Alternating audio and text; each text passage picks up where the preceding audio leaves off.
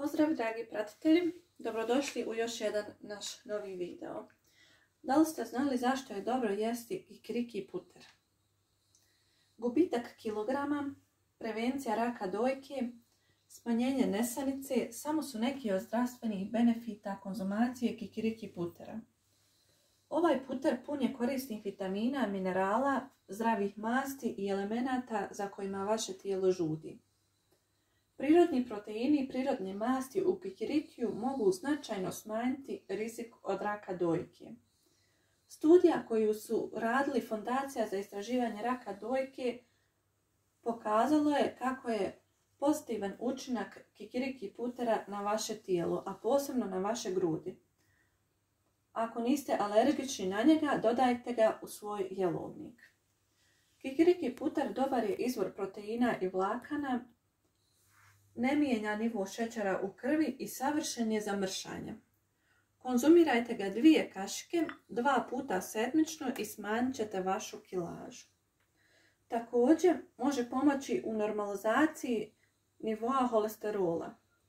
Njegove zdrave masti, antioksidanti, željezo, magnezij, kalci i vitamin C pomažu vam da nadoknadite nedostatak ovih elemenata u vašem tijelu zbog čega ćete se osjećati mnogo bolje.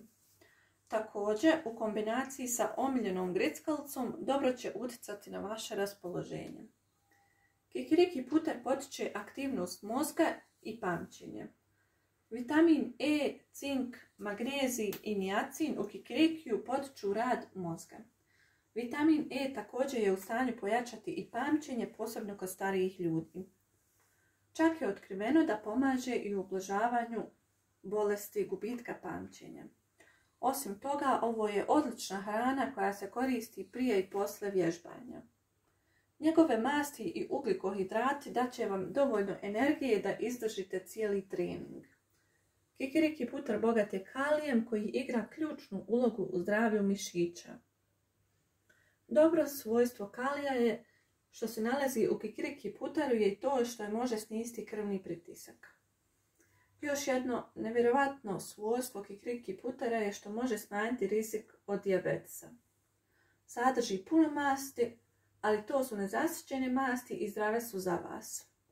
Aminokiselina u kikirikiju koja se naziva triptofan pojačava hormon spavanja, melatonin i hormon sreće serotonin. To vas smiruje, usporava procese u tijelu i potiče dobar san.